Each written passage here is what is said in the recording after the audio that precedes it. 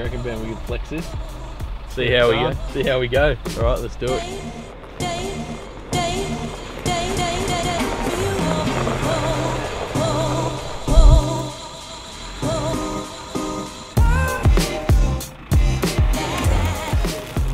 Have a look at that.